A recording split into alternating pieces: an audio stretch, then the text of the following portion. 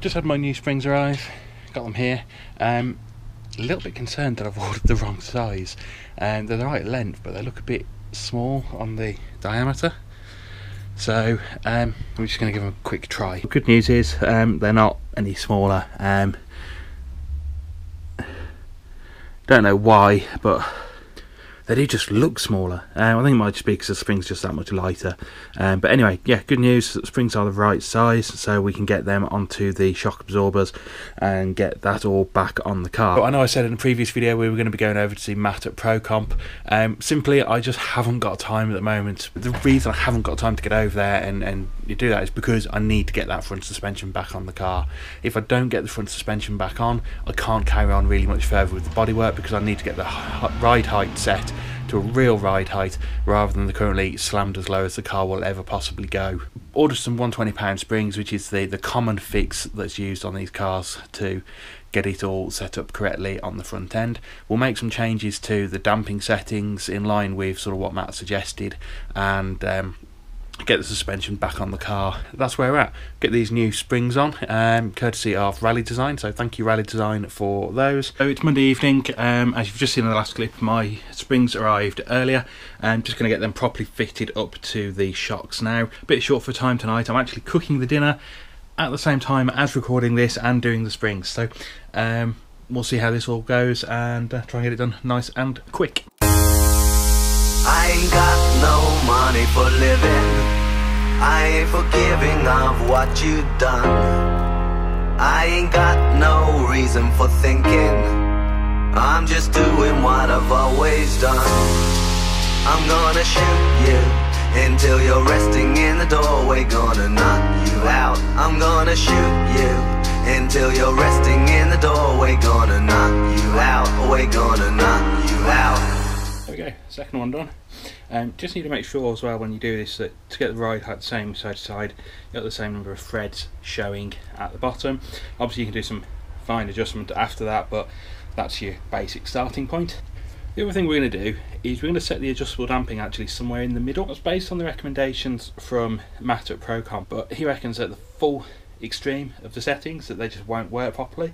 So we're going to go in the middle should work properly there and then we can go from there on the rest of the settings. So there we have it, both the shocks are now built back up. There's about 16 clicks of adjustment on the damping so we've gone 9 clicks from full hard. I reckon that would be about right to get us started. We might then take a few more clicks out towards soft but um, we'll see how they go on those settings Next job is to get these back in the car. I uh, need to just find all the bolts and nuts to do that with, but before we do that, I'm going to go and have something to eat.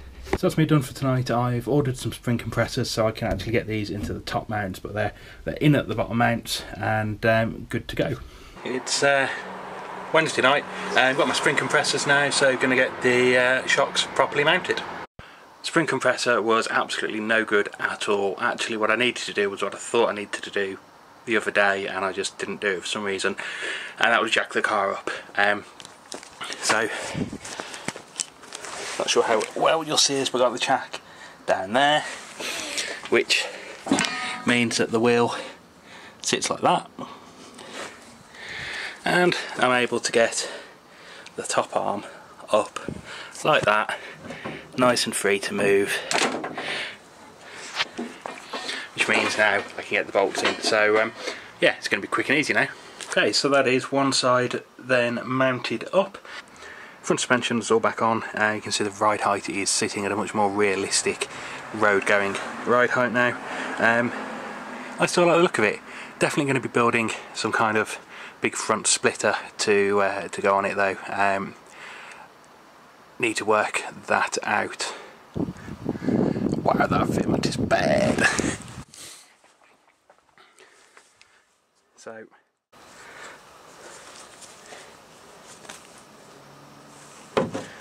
yeah. Passenger side fitment. It's awful.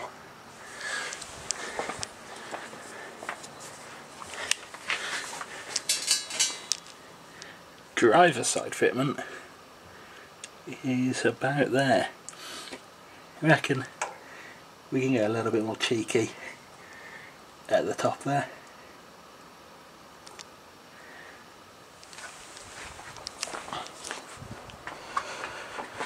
Looking at it straight on though, I'm definitely just spaced further out on that right hand side which explains obviously the bad fitment on that side. So we can definitely bring that panel in some more. It needs a bit of a splitter so thinking that what we'll do excuse me pointing at my foot but is have a splitter that comes to here comes across and then tapers quite